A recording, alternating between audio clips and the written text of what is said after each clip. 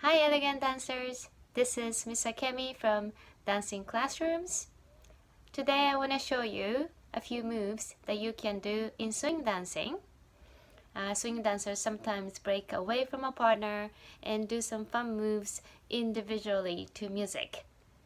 Um, I'm going to show you today boogie back, boogie forward. We're gonna start with boogie back first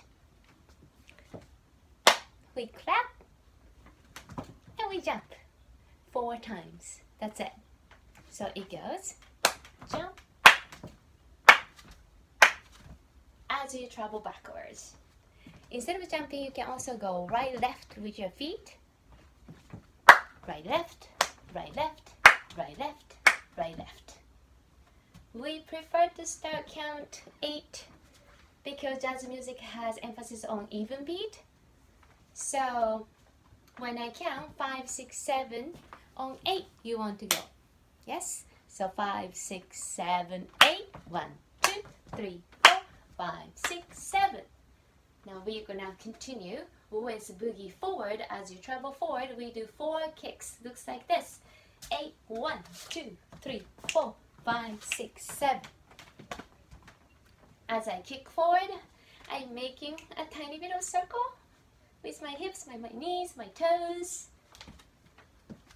like this, or you can just kick forward, doesn't matter.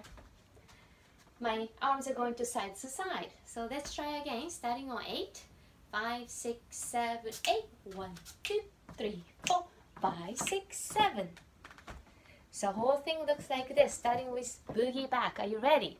Five, six, seven, eight. One, two, three, five. Boogie forward. Eight. One, two, three, four, five, six, seven, eight. One, two, three, four, five, six, seven, eight. One, two, three, four, five, six, seven. Let's try the music.